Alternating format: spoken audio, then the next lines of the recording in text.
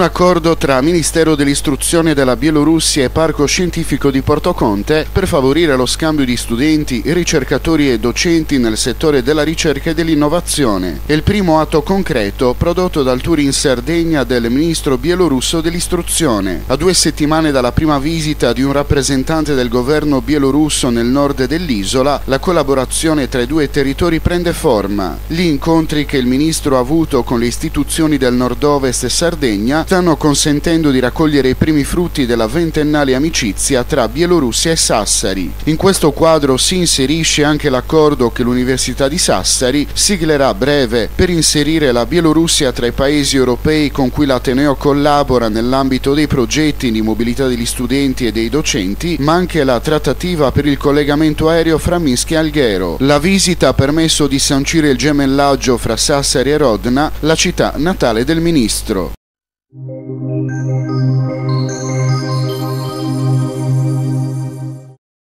La provincia di Sassari è a rischio default e non può fare nulla di più di quello che sta facendo. Il destino dell'ente, dei servizi erogati e della società in house è legato alle scelte che verranno operate a Roma e a Cagliari. È la posizione che l'amministrazione provinciale di Sassari ha ribadito anche ieri mattina ai dipendenti della Multis, che hanno occupato nuovamente gli uffici del palazzo di rappresentanza dell'ente in Piazza d'Italia a Sassari. È stata un'altra giornata di grandissima tensione, culminata con il confronto tra una delegazione di lavoratori e di rappresentanti sindacali e gli amministratori e i dirigenti della provincia. La preoccupazione è massima su tutti i fronti.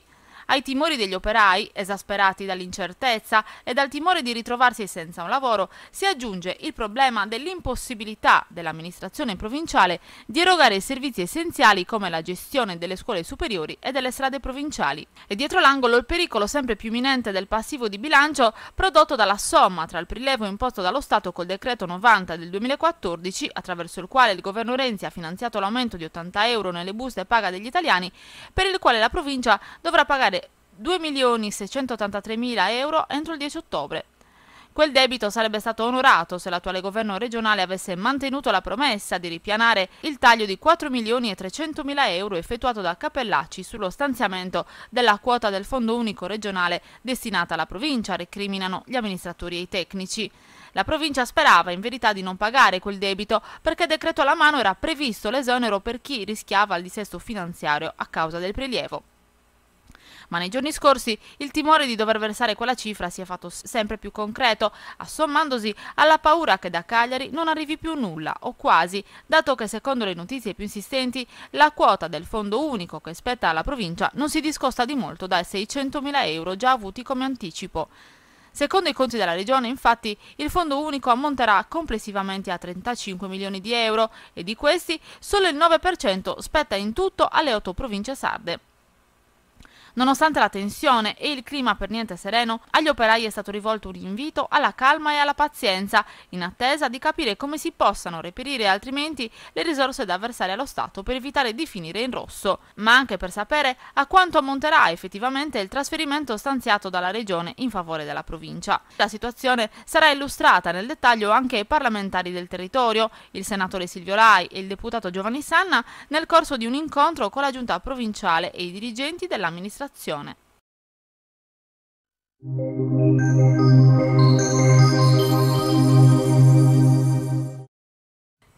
Si parla molto di acqua e dei disagi ai quali spesso l'ente gestore del servizio idrico cittadino sottopone l'utenza, con sospensioni dell'erogazione e quant'altro. L'utente porta pazienza aspettando che l'acqua torni a sgorgare dal rubinetto di casa, possibilmente con un colore limpido e non giallastro come accade spesso. Poi però succede che un tubo si rompa. Va bene, la condotta non è proprio nuovissima e ci sta dunque che qualcosa possa rompersi. Guardate queste immagini girate da un nostro telespettatore.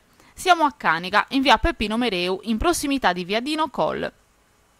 Da una buca profonda 50 cm sgorga una copiosa perdita d'acqua da circa un mese. In tutto questo lasso di tempo, nonostante le segnalazioni all'ente preposto, sono intervenuti solo i vigili urbani del nucleo di Lipunti che hanno provveduto a transennare l'aria intorno alla buca per ragioni di sicurezza. Ma quanto ci vuole per sistemare la falla ed evitare ulteriori disagi alla popolazione che già ne deve sopportare parecchi?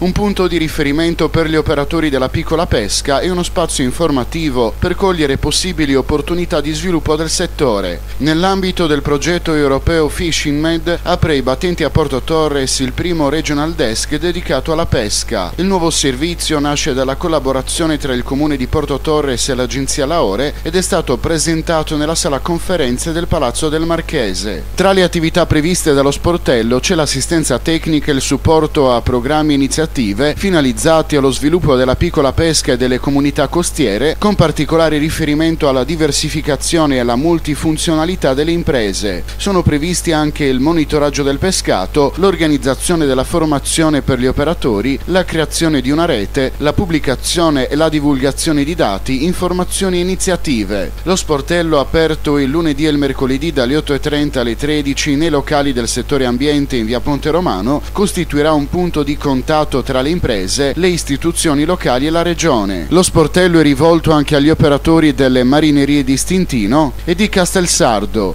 Massimo Rocchita, responsabile dell'unità organizzativa della Direzione Generale dell'Agenzia Regionale Laore, ha sottolineato l'importante sforzo fatto dal Comune di Porto Torres che ha concesso ai locali per ospitare il servizio. Questo è il primo regional desk realizzato nell'ambito del progetto comunitario FishMed, attraverso cui si intende creare un osservatorio europeo sulla piccola pesca per capire i problemi del settore e individuare nuove opportunità di crescita.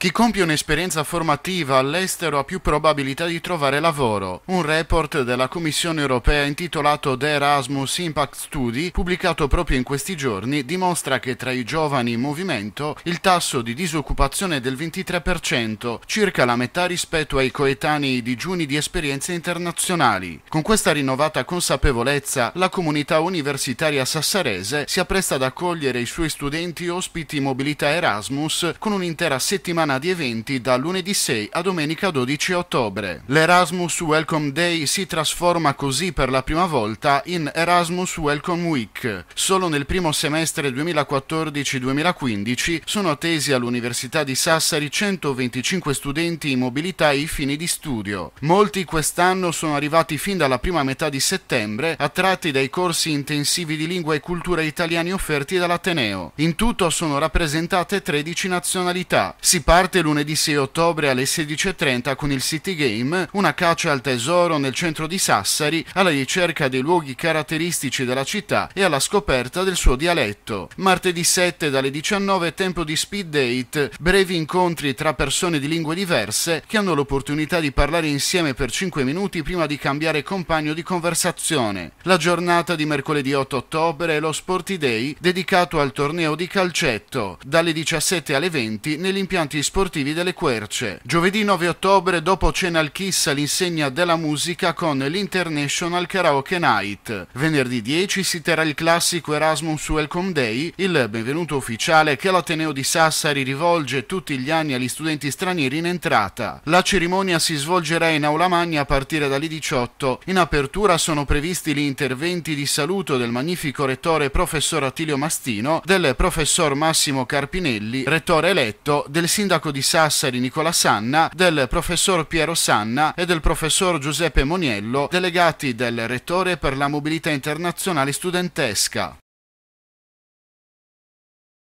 Eccoci di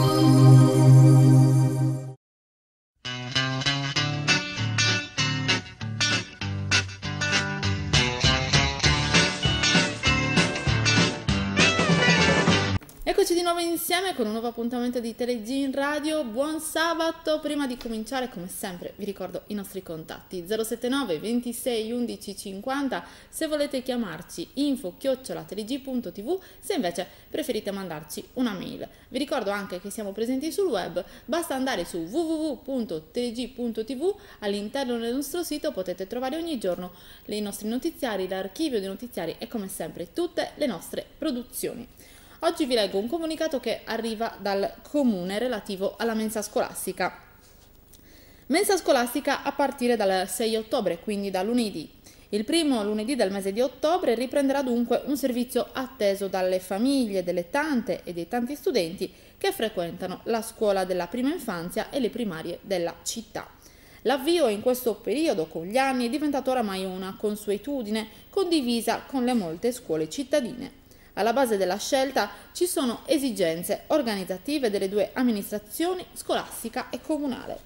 La scadenza per l'iscrizione al servizio è fissata nel mese di giugno, una data importante stabilita per agevolare le famiglie e gli stessi uffici comunali, che così possono coordinare al meglio l'intera macchina organizzativa.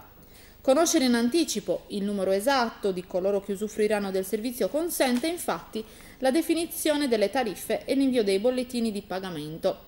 Una contribuzione, quella delle famiglie, che copre circa il 31% del servizio e consente al Comune, che integra con i propri fondi, un'offerta adeguata ai giovani studenti che hanno scelto di frequentare il tempo pieno. Capita purtroppo, affermano dagli uffici del settore educa- eh, scusate, politiche educative del comune di Sassari, che vengano presentate domande di iscrizione soltanto all'avvio del nuovo anno scolastico. Invitiamo le famiglie, pertanto, a presentare le domande per tempo, evitando così possibili disguidi. La partenza della mensa è legata poi ad ottobre anche ad altre esigenze organizzative. Le scuole fanno sapere dagli uffici di Via Venezia in questo periodo stanno definendo l'orario del personale scolastico e organizzano l'assistenza educativa degli alunni con disabilità in base al numero di ore di cui possono disporre. I primi giorni di attività scolastica sono pertanto necessari per riorganizzare gli spazi, comprese le sale mensa, e il tempo scuola sulla base delle reali esigenze di alunni e alunni che variano ogni anno. Abbiamo valutato, aggiunto l'assessore alle politiche educative Maria Francesca Fantato, la possibilità di iniziare il servizio il primo ottobre, ma l'avvio a metà settimana non avrebbe consentito un'organizzazione ottimale, che invece ci sta molto a cuore. Questo era il comunicato del comune relativo al servizio mensa nelle scuole. Io come sempre, prima di salutarvi, vi ringrazio per essere stati in nostra compagnia anche oggi. Oggi è 4 ottobre, quindi facciamo gli auguri a tutti Francesco e Francesca che festeggiano il loro onomastico oggi. Faccio gli auguri anche a mio figlio che si chiama Marco Francesco e anche alla nonna di mio figlio che si chiama Francesca. Insomma, a tutti i Francesco e Francesca che ci seguono. Grazie mille e naturalmente l'appuntamento è rinnovato alla prossima. Buon fine settimana!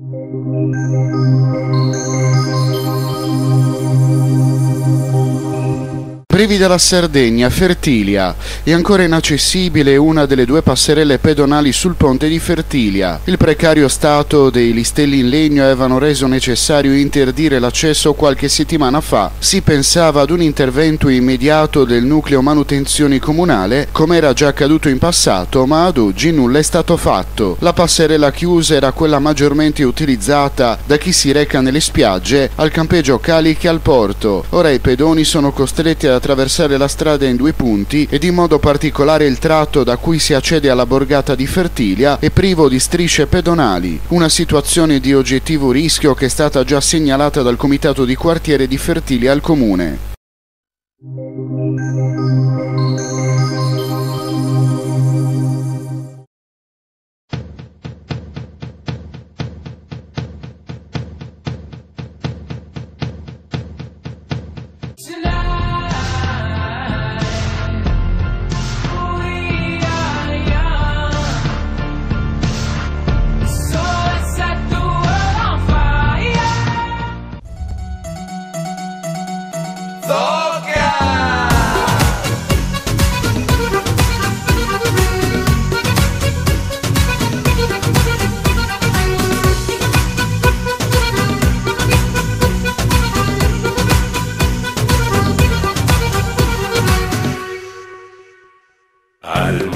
Bailar con ritmo de la noche, escuchar la respuesta de un zambene que escurre y el pensamiento, imagínese que un guerrero en el pasado bailaba a ustedes.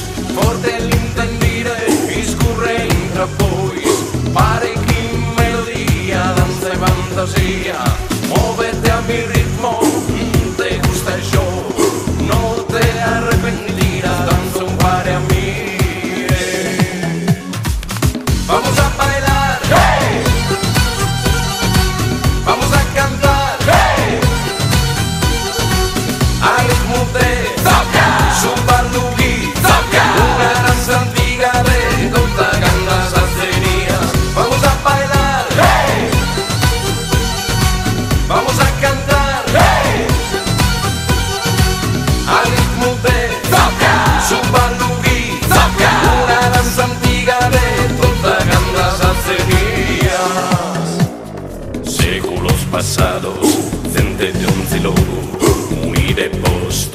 vamos a bailar. Escuchen mi ritmo, hombres en el mundo, no temerás gusto para danza de un par a mí. Vamos a bailar,